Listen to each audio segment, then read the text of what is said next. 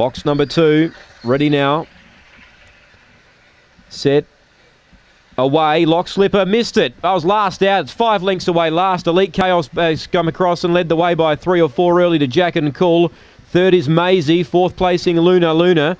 Then came Cyril Beast. Lock Slipper running on, but it's all too late. Then Plateau and further back Yashtreb, but in front of Elite Chaos. It's going to kill them. It's six or seven clear. In second, Jack and Cool, but uh, Elite Chaos bolts in. Jack and Cool second. Third, Maisie the roughie. Fourth, Lunar Luna. Lock Slipper. Uh, blew it at the start, ran about fifth. Then Yashtreb, uh, Cyril Beast, and last in Plateau. The time is 22.35. It's a good run. Elite Chaos straight to the lead, courtesy of the fact the favourite blew it. And Elite Chaos went straight across and led. It was all over pretty quick once she led. She was a good run last week. And she's got out to a big price, courtesy of that money for the favourite.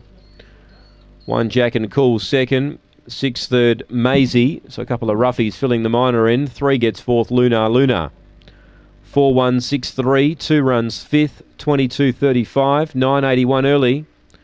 12.54 the run home. It's five and three quarters by a length and three quarters.